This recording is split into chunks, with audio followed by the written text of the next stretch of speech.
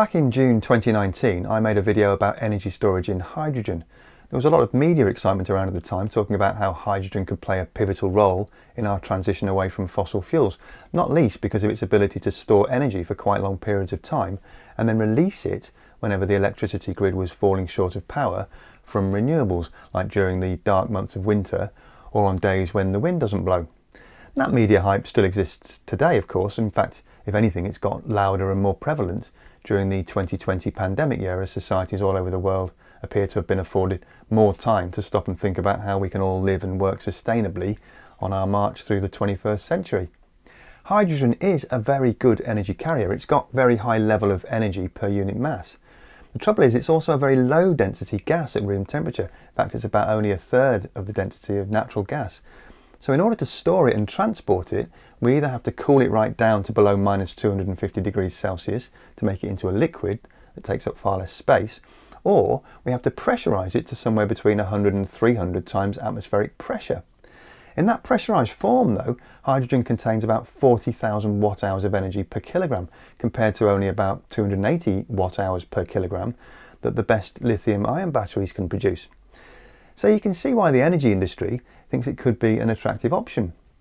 Both the cooling and pressurizing methods are already commonly used today too, but they both take a lot of energy, removing about 30% of the efficiency from the overall hydrogen production and supply chain process. On top of that, hydrogen is a very reactive gas which tends to make steel become brittle, and that's not ideal if you're shipping the stuff in pressurized steel cylinders or transporting it through pipelines. So the latest industry buzz is all about how to store and ship hydrogen in a safer and more efficient way using a very well established infrastructure that's already in constant use every day all over the planet. In order to take advantage of that infrastructure though, you first have to convert hydrogen into ammonia. And that concept appears to have opened up a whole new can of worms.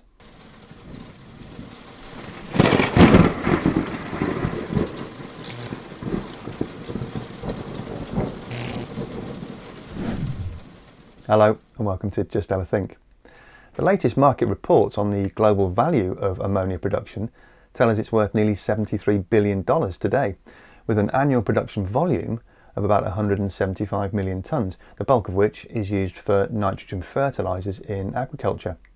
But the potential benefits of transporting and storing ammonia as a very long-term energy carrier are attracting a great deal of interest from all sectors of the energy industry. Ammonia is comparatively easy to transport and store, certainly compared to hydrogen anyway. It liquefies at only minus 33 degrees Celsius compared to minus 250 odd degrees for hydrogen. And if you choose to pressurize it instead, then it only needs to be compressed to 10 times atmospheric pressure. And it doesn't react with steel the way hydrogen does either. It might sound a bit counterintuitive to say this, but it's actually a better hydrogen carrier than hydrogen itself. For the same volume, ammonia contains 50% more hydrogen than hydrogen does.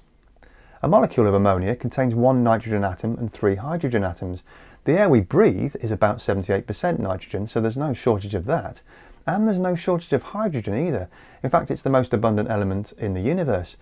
But here's where the can of worms starts to peel open because the industrial processes for liberating nitrogen and hydrogen and combining them into ammonia are currently among the dirtiest in the world, using about 2% of the world's fossil fuels and accounting for 1.2% of our total global CO2 emissions.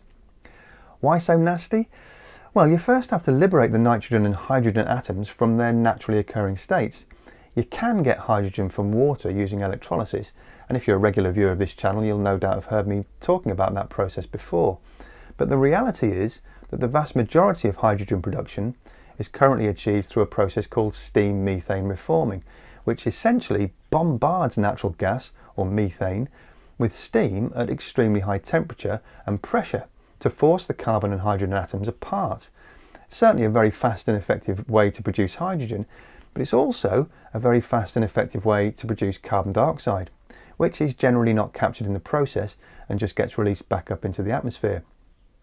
Separating nitrogen gas out of the air is pretty easy using a cryogenic process, but nitrogen exists in nature as N2, and breaking the strong chemical bonds that hold nitrogen molecules together is no mean feat. The existing method is to compress the nitrogen and hydrogen at about 250 times atmospheric pressure and temperatures of about 400 degrees Celsius in tall, narrow steel reactors where an iron catalyst helps to liberate the individual nitrogen atoms so that they'll react with the hydrogen atoms in the right proportions to produce ammonia.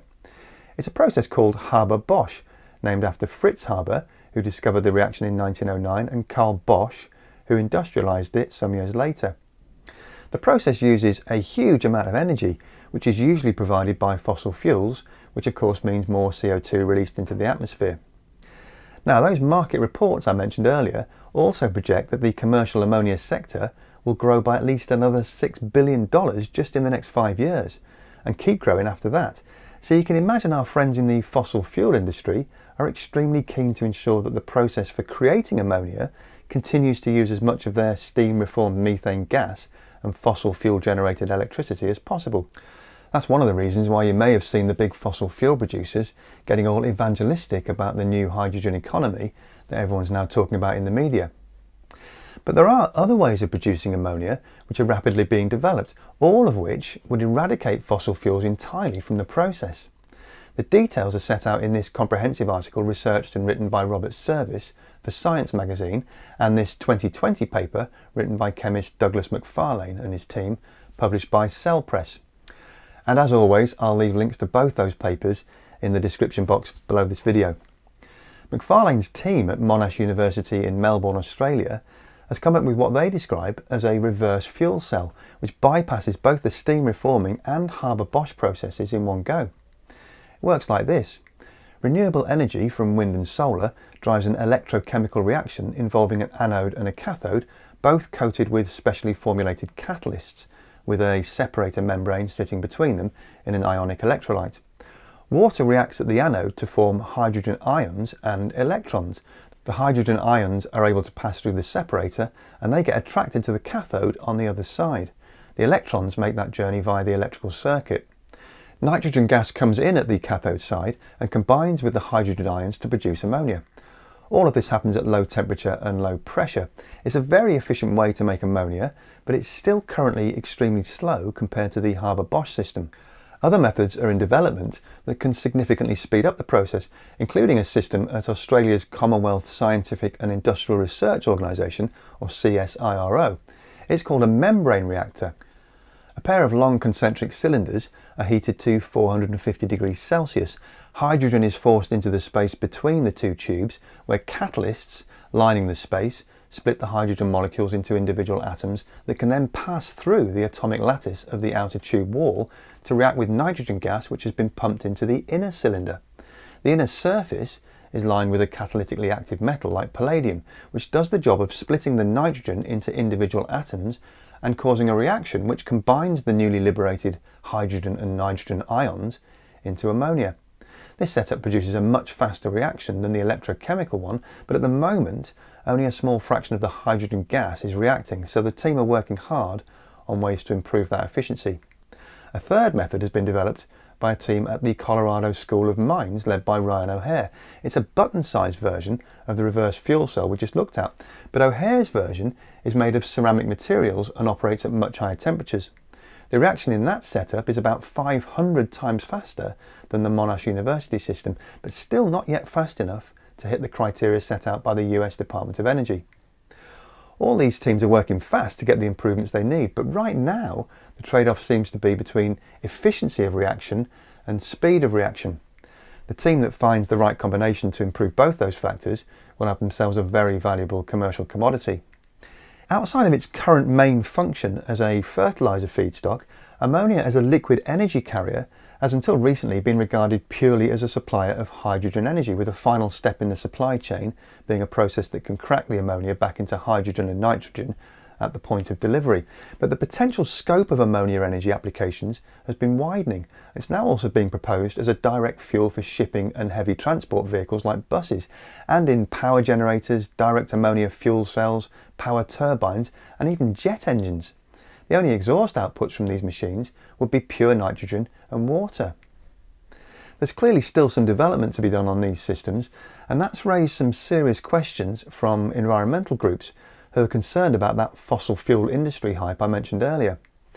Governments around the world are now enthusiastically launching themselves toward hydrogen as an apparently green solution, not just for storing energy, but also directly heating homes and fueling vehicles. These are all ostensibly very positive developments, but the caveat offered by environmental groups like DeSmog is that we risk building out national and international supply chain infrastructures based on large scale supplies of apparently green ammonia and hydrogen, only to find that the new zero carbon methods of production are not able to keep up with demand, at which point the fossil fuel boys will wade in with their existing carbon heavy technologies. That may be an unnecessarily pessimistic projection, but I guess only time will tell. Now, I already know from the amount of emails and comments I receive on this subject that it's one that provokes strong sentiments on both sides of the argument. That's why the comments section is there, of course. So if you've got views on this or some direct experience from inside these industries, then jump down and leave your thoughts there. That's it for this week though. Thanks to our fantastic Patreon supporters who help keep the channel independent and keep these videos ad free. And a quick shout out to the folks who've joined since last time with pledges of $10 or more a month. They are Pierre Marasti, Igor Weisman, Mr. Bager, Leslie Guy, Dale Hulst, Benjamin David, Eve Wyatt, Nikola Tesla, Tim French, Jesse, David Price, Frederick Simon, and Dave Riley. And of course, thanks to everyone else who's joined since last time as well. You can support the channel that way too for as little as a dollar a month and receive exclusive monthly news updates from me, plus content polls in the top tiers to choose each month's topics by visiting www.patreon.com forward slash just have a think. And of course, you can hugely support the channel absolutely for free by subscribing and hitting that like button. And if you want to be notified about new content each week, then make sure you hit that little bell icon too. Dead easy to subscribe. You just need to click down there or on that icon there. As always, thanks very much for watching. Have a great week and remember to just have a think. See you next week.